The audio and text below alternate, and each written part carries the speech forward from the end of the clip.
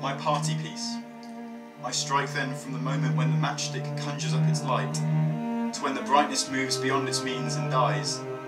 I say the story of my life. Hi. So recently my content hasn't exactly been the most creative, exciting or original. In fact, quite the contrary, I've kind of been dicking around in front of the camera, doing stuff like this.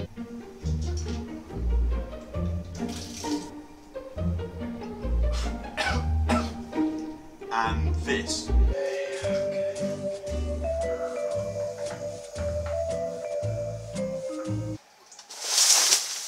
So what I thought I'd do to restore the balance is try and do something original and maybe, God forbid, a little intellectual. So, context. Simon Armitage, poet, comic and proud Yorkshireman extraordinaire. And in said book, he has a certain selection of poems called Book of Matches. Well, it was a separately released thing.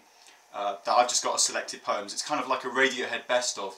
It's good to get into it, but real fans will just look at you like you're the scourge of the earth. So in Simon Armitage's Book of Matches, he has a selection of poems that are basically based around the premise that when he was travelling, he would get to know people by sitting around a campfire and trying to tell his life story in the time it took for a match that he was holding to burn the length of his fingers without burning himself.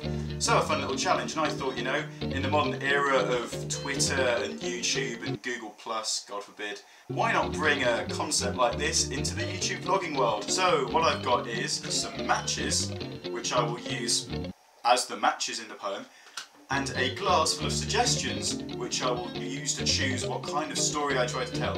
And no, this is nothing like the 7 second challenge. Disclaimer, the following YouTube challenge contains use of incendiary items, namely matches. If you're under the age of 18, please do not attempt to replicate this challenge at home, as it could result in unwarranted injury. If you're over the age of 18, please be aware that you recreate this challenge at your own discretion, and I reclaim no responsibility for any burns, scalds, or curtain related incidents. There you go. You have been warned. Even injury lawyers for you can't save you now. Cause we can't take our eyes off the t-shirt and ties combinations. See you later, innovator! Seriously, those are the stupidest song lyrics ever. No one looks good in a t-shirt and a tie. What I think I'm going to do is just say I have to tell the story or describe the challenge in the length it takes for the match to go out because I don't actually fancy getting burnt and it probably take quite a long time to burn me. Right. Describe a TV show you've been watching recently. Right, so a TV show I've been watching recently is Great British Bake Off. I really love Great British Bake Off because it's basically a whole load of innuendos with Mary Berry and Paul Hollywood. This is going to be difficult.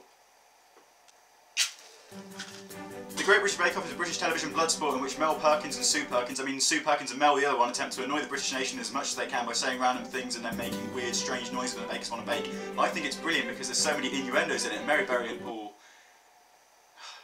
I think that will have to do. This is turning into a quest of how quickly can I talk? That video coming soon. Energy drink advised. Tell us your life story. I was wondering when this one was going to come up. I was born in Birmingham to two people and Birmingham's quite a nice place. Where I've lived all my life pretty much I think. We haven't moved house very much. Uh, basically primary school was quite fun. I was quite cool in primary school. It was quite cool in year 7, not cool anymore. I was born in Birmingham in 1995. What an amazing time to be alive. All that rhymed. It was almost intentional. I uh, went to primary school. Primary school was good. I was born in Birmingham in 1995. Went to primary school. Primary school was very good in King's Heath. Very diverse, very fun. Lovely, lovely people. Went to secondary school. Secondary school was kind of a mixed bag, but they're good. Uh, around the A levels. Went to uni. Decided I wanted to do student radio instead of my degree, and constantly spent my time doing that instead. I hope that kind of made some gra grammat grammatical sense. There is quite a lot of smoke in my room and my head is starting to kind of hurt. Anyway, next one. The last time you were scared.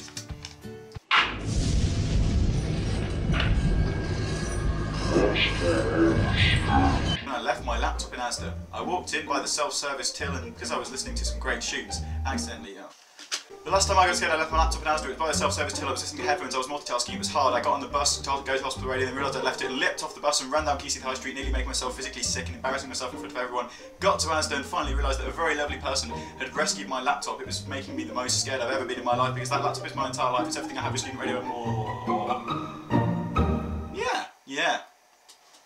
I think I did good. Describe your favourite album at the moment. New album, What Went Down, is really good. When Foals play live, they trash lots of things up. I like the songs and I like What Went Down, it's very good. Easy. Last time you couldn't stop laughing. Okay, this is this is a good one. This is a good one.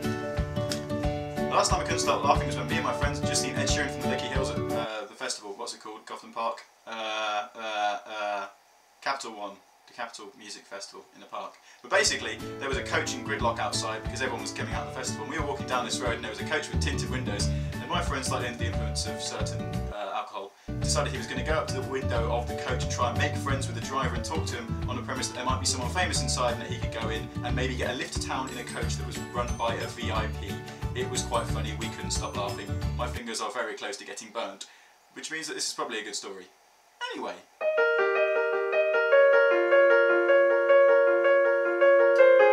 So, in the words of Wild Beasts, this is our lot. That is the end.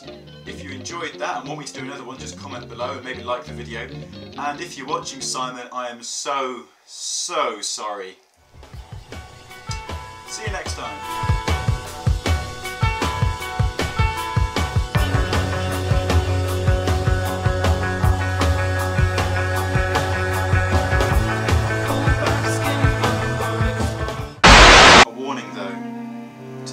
Nursing an ounce of sadness, anyone alone. Don't try this on your own. It's dangerous madness.